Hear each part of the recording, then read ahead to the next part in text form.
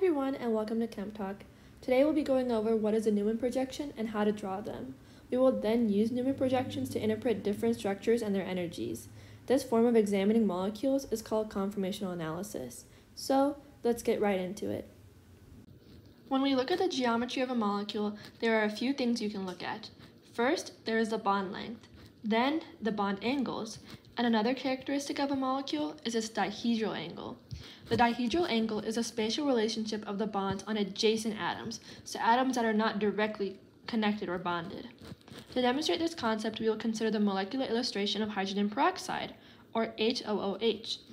Both of the OOH bonds are at angles are 96.5 degrees, but we need to know the dihedral angle to completely describe and know the shape of the hydrogen peroxide molecule, because a molecule could also be drawn like this. To understand this further, let's draw out the molecule with two intersecting planes. Each plane has one of the oxygens and hydrogens it's bonded to. The angle between these two planes is what's called the dihedral angle, sometimes also known as the torsion angle. So there are three possibilities here for hydrogen peroxide's dihedral angle. You can visualize these dihedral angles if you also if you have a model where you can put together the molecule. So here, if you hold one of the OH bonds fixed and rotate the other, we can actually see how the different dihedrals look like. So here, if we rotate the right plane first 90 degrees, we get option 2, where the dihedral angle between the green hydrogens are 90 degrees. And then if we rotate it again 90 degrees, to get option 3, the dihedral angle between the green hydrogens is now 180 degrees. Molecules containing many bonds typically contain a lot of dihedral angles that need to be specified. So to summarize this concept, the geometry of a molecule is determined completely by its bond length, bond angles, and the dihedral angle. This is especially important for more complex molecules. With this background, we can introduce the idea of a Newman projection. With Newman projections, we can view dihedrals much more easily. Because of this, Newman projections are super useful in planning experiments. Drawn here are three molecules that are actually of the same chemotherapeutic drug, with a Newman projection incorporated into each molecular drawing. The dihedral angle of a specific bond is super important for this molecule because otherwise it won't act properly in your body because each of these drawings have different properties because of their different Newman projections and then therefore their different conformations. For example, the melting point for each molecule here is completely different. So, scientists drew the three possible Newman projections to figure out how the mechanism and reaction would take place and tested to see which is the one that would, would be best to use. In most labs, especially in drug discovery and bacterial treatment, Newman projections are a starting point from which scientists and researchers determine how to conduct experiments to get desired results. This wouldn't be possible without Newman projections because they help predict mechanisms for re reactions, which determines the results or products of a reaction. With this background, we are now going to learn about Newman projections by examining ethane. Ethane has two carbons and six hydrogens. We can draw the geometric three-dimensional structure of ethane using the line and wedge model. Here, if we look at this first carbon, we have one hydrogen going up, another going into the page, and another coming out of the page. For the second carbon, we have one hydrogen going into the page, another hydrogen coming out of the page, another hydrogen going down. Similar, but kind of reverse from the other carbon. We can have an even better 3D drawing with the ball and stick model, and here we can see the hydrogens coming off each carbon even better. Now imagine we look down the carbon-carbon bond as if it were a tube or a stick. We would see the different hydrogens coming off of this stick, and the hydrogens look staggered from each other. They, overlap, they aren't overlapping and they're kind of off from each other. This is where the Newman projection comes into play. A Newman projection is a type of planar projection along one bond, which is called a projected bond. So in our, in our example of ethane, the carbon-carbon bond is our projected bond. To draw a Newman projection, you start with a circle, which represents the near carbon, or the near atom in the projected bond.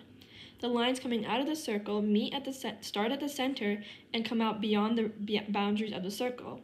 These three lines represent the three bonds made with that near atom. We then draw three lines coming out of the boundary of the circle. These lines represent the bonds with the further atom, or the second carbon in our example. The lines are drawn based on the orientation or the dihedral angle of the atoms to each um, between each carbons. So here before we saw that since they were staggered, that all of the lines here are then drawn staggered to each other because all the all the hydrogens are staggered. In Newman projections, only the near atom is shown. Both the projected bond and the second atom is hidden behind the Newman projection. With the Newman projection, we can also see that dihedral angle between the atoms even better. So the hydrogens in the between the with, on the front atom and the hydrogens on the back atom, we can see the dihedral angle as shown here. There are two possible ways to draw the Newman projection of ethane. And those are the two different ways we can visualize the molecule. These are called the conformations of ethane. Our one example we've already shown is a staggered conformation, where the hydrogens are staggered from each other. The second conformation is if the hydrogens overlaid each other, if they were right in line with each other along that carbon-carbon bond. This is called the eclipse formation, which is the second conformation of ethane. Both of these conformations are really important and have a lot of different characteristics and energies, which we'll see on the next page. So we just talked about these conformations, mentioned their energy, but why do these conformations matter? Well, it's because each molecule has a preferred conformation that allows it to be on a low energy level. And molecules, just like atoms, like to be at the lowest energy level possible. High energy makes them unstable. So here we have a graph of the energies of ethane, which show the energy versus dihedral angle. So what, comparing the different conformations of ethane, basically. This graph shows what happens when we rotate a carbon, in this case I've arbitrarily chosen the front carbon, and we see how the hydrogens move and thus how the energy of the ethane changes. Through the course of the rotation, the molecule passes through three identical staggered formations and three identical eclipse conformations. And we can see that identical conformations have identical energies. The graph also shows that the eclipse conformation is when the energy is at a maximum, and the staggered conformation is when the energy is at a minimum. So the staggered conformation is the more stable conformation. One hop on this graph is about 12 kilojoules per mole, which means it would take about 12 kilojoules of energy to convert one mole of staggered ethane into one mole eclipsed ethane, so converting between each conformation. But why is the eclipse conformation of higher energy and relatively less stable? Well, there are a lot of theories, but the main theory is that the bonding orbitals of the hydrogens of the front carbon interfere with those of the back carbon when they're eclipsed, because they will overlap because they're so close together. In this position, the hydrogens also repel each other since they would be so close together, because the bonds are closer when they have a dihedral angle of 0 degrees. Thus, repulsion is greater in the eclipse form. This repulsion is called torsional strain. But here, more specifically, also remember that the repulsion is not really between the hydrogens themselves, but the electrons in the bonds of the hydrogens. Let's do another example to really get the concept straight. So, let's try to draw the Newman projection of butane. Butane is C4H10, already a little different than ethane. So first, let's try to think about the molecule.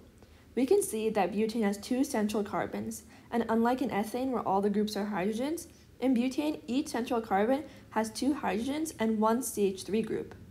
With that, we can draw the line and wedge model of, of butane with one CH3 group going up, a hydrogen group going into the page, and a hydrogen group coming out of the page for the left carbon. And for the right carbon, we have a hydrogen going into the page, a hydrogen going out of the page, and a CH3 going down. To try to imagine the molecule further, we can draw the bond stick diagram, where we can see the CH3 groups and hydrogen groups even better.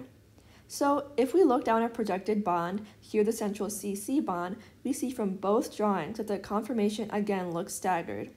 We see that the CH3 groups are opposite of each other and all the groups are staggered from each other.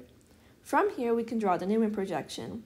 The front carbon has a CH3 group going up and the two hydrogens coming out towards the bottom and the back carbon has a CH3 group going down, and the other hydrogen staggered from the front ones.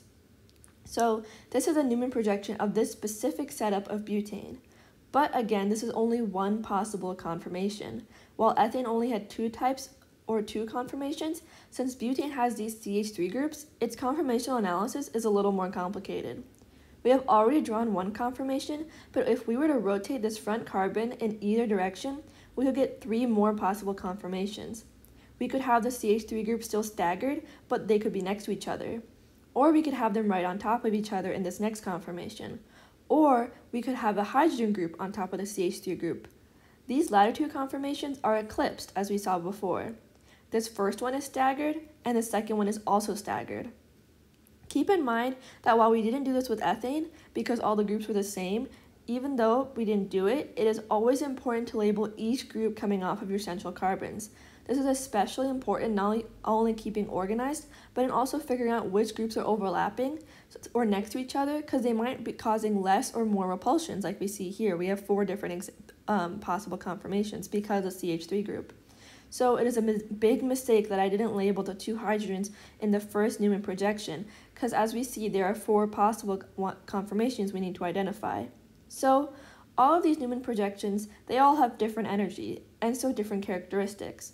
So to really do this um, well and look at these further, we have to look at the energy diagram again to really understand each Newman projection and do its conformational analysis. Again, we can see the energy graph for butane just as we did ethane. Here again, we have the dihedral versus energy. Now, this graph is not as consistent as with ethane, where each staggered conformation had the same energy and each eclipse conformation had the same energy. Here, it's a little different. So let's start by looking at the different conformations. If we just focus on one CH3 group, so in this case, the group on the front carbon, and focus it as we rotate around, we can see that the position of both CH3 groups as it rotates from right on top of each other to next to each other to further and further away until it comes back around. We can see it rotate all the way around. Now let's go in and label if they are eclipsed or staggered. This first one is eclipsed. The next is staggered, then eclipsed, then staggered, then eclipsed again, then staggered again, and then finally ending with the same eclipse conformation as the first. We can identify the center one where the CH3 groups are opposite to each other and staggered as where the energy is the lowest. We can see that the first and the last eclipse conformation where the CH3 groups are eclipsed and right on top of each other as when the energy is the highest. But why is this eclipse different than the second eclipse? Naturally, when the CH3 groups are overlapping, there is more repulsion than when the CH3 group overlaps with a hydrogen, which is what's happening with the second eclipsed one. So the eclipse form with the CH2 groups overlapping is the highest energy conformation because there is more of that repulsion happening. There are more hydrogens, the CH2 groups carry more uh, um, electrons, so there is naturally more repulsion, which is why it's at an even higher energy level. Now, why is the staggered with the lowest energy level energy different than the second staggered that we see that has a little bit higher energy but still very low energy? It's actually because these are two different types of staggered conformations. This first one with the lowest energy is called anti, and the second one is called gauche. What determines if a conformation is anti or gauche is the location of the CH3 groups relative to each other. In the anti, the CH3 groups are opposite to each other and the conformation is staggered. While in the gauche, the conformation is still staggered, but the CH3 groups are closer together, they're adjacent to each other. So again, we see that the gauche and anti-conformations are the staggered versions, so we have lower conformations than eclipsed, or energies than eclipsed. But between them, the anti is lower. Why is that? Well, this is because in gauche, when the CH3 groups are adjacent, there is still a little bit of that repulsion because the CH3 groups have three hydrogens coming off of a carbon, which can interact with the other CH3 group, so they have that bit of repulsion, but not as much as the eclipse. But when the CH3 groups are anti, there's absolutely minimal overlap and repulsion between the CH3 groups, which is why it's the lowest energy conformation. That is like that is a whole that would be the whole conformational analysis of butane. And this is basically everything and all the terminology that you need to know for Newman projections as a whole. So overall in this video, we started talking about dihedral angles, but really we discussed Newman projections and how to visualize them, how to draw them, how to interpret them, and we learned about conformational analysis, which is the investigation of the different molecular conformations of a molecule and their different relative energies. Scientists do this often when setting up experiments and mechanisms to see how reactions will take place or how much energy they might need to put into a reaction to get molecules to a desired conformation. In summary, we learned about two overall types of conformations eclipsed and staggered. Within staggered, there is the anti and the gauche formation.